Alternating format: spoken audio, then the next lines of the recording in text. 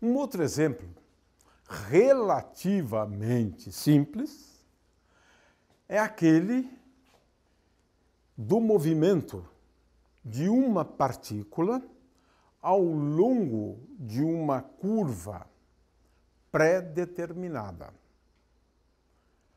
Digamos que eu tenha o movimento de uma partícula de massa m ao longo desta curva aqui. Uma curva qualquer, na realidade. Mas eu desenhei aqui a curva. Você pode pensar na curva como sendo o leito de uma rodovia e pode pensar na partícula de massa m como sendo um carro que se desloca pela rodovia. É um exemplo do cotidiano. O fato é que ao longo de uma curva, num ponto qualquer ao longo dela, eu posso desenhar sempre uma tangente à curva, que é uma reta que toca a curva num ponto e apenas num ponto, e eu posso agora também pensar numa direção perpendicular, normal, à tangente. Mas eu tenho infinitas normais. Essa aqui que eu estou considerando, ela é dirigida ao centro, conhecido como centro da circunferência osculadora. Isso porque, por este ponto aqui, eu posso passar uma circunferência que toca a curva por esse ponto, tangencia a curva, e essa circunferência tem raio R. Eu considerei aqui este ponto, mas em cada ponto você pode desenhar a tangente à curva e orientá-la. Isso vai me dar um versor T, e agora um versor n normal perpendicular à tangente por esse ponto. Por esse outro ponto, eu posso fazer a mesma coisa. Vocês estão percebendo que a tangente vai variar de ponto para ponto ao longo da curva. É isso que eu estou exemplificando aqui. A tangente nesse ponto é essa reta, o t eu oriento assim, Aqui a tangente já está assim, aqui a tangente está assim, e a normal também, vai variando de ponto a ponto. Esses são os ingredientes básicos para a gente entender a dinâmica do movimento ao longo de uma curva. Os resultados que eu vou apresentar agora podem ser demonstrados, mas a demonstração dá trabalho. É uma demonstração que pode ser feita de uma forma rigorosa mas eu acho que não é o caso. Eu vou apenas apresentar os resultados.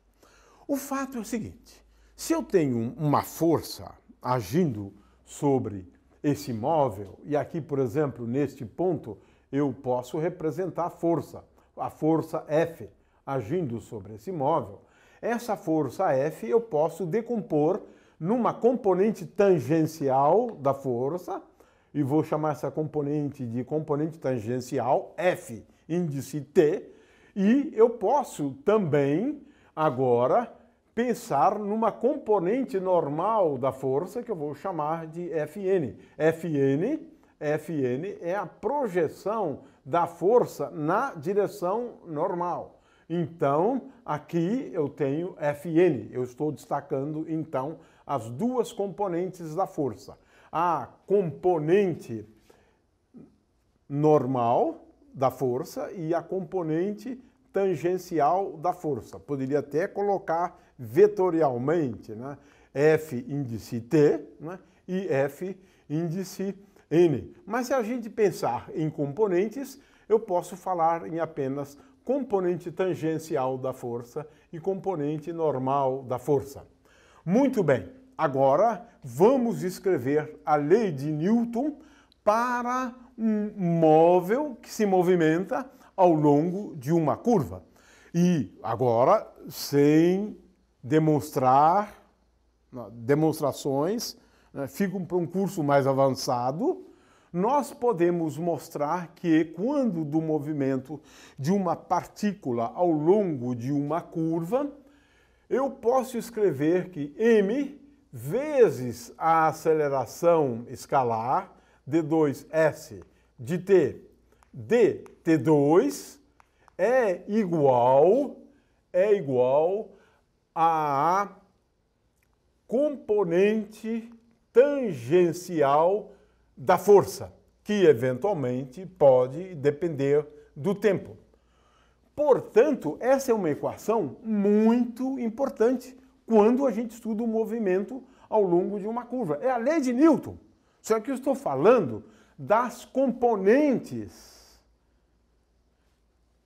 da segunda lei de Newton. Massa vezes a aceleração é igual à força. Agora eu estou tomando as componentes. E eu posso mostrar que o resultado é m vezes a aceleração escalar, e a aceleração escalar igual a d2s dt2 é igual a componente tangencial da força. Um outro resultado que é importante que a gente saiba é que a componente, portanto, a componente tangencial da aceleração, seria melhor assim, é igual a d2s dt2. S é a coordenada espaço. No entanto, a componente normal da aceleração é igual a menos v ao quadrado, onde v é a velocidade da partícula naquele ponto, dividido por r. É, na verdade, uma aceleração centrípeta, portanto. E logo, a lei de Newton, agora em termos de componentes, é m vezes menos v ao quadrado sobre r é igual à componente normal da força. Portanto, no caso do movimento ao longo de uma curva, eu posso estudar esse movimento e, nesse caso, a equação mais importante é esta aqui. Esta outra apenas leva em conta o fato de que eu preciso ter uma força normal para manter a partícula naquela curva. Em geral, a gente não leva em conta esta expressão, no entanto, no caso do movimento circular, é muito importante que a gente leve em conta essas duas equações. Mas veja-se que no caso do movimento ao longo de uma curva, eu tenho apenas duas equações.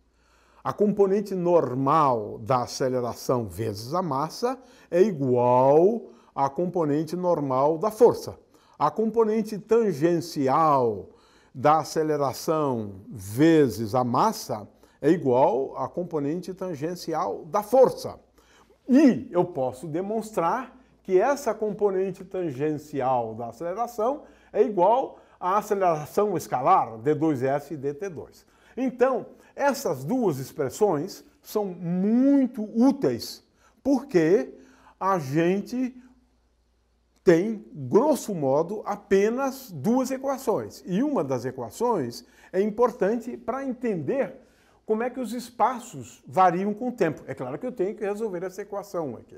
Mas essa é uma situação ainda relativamente simples que a gente tem e, em alguns casos, é bem simples a análise do movimento, como é o caso de um movimento retilíneo e também o caso do movimento circular.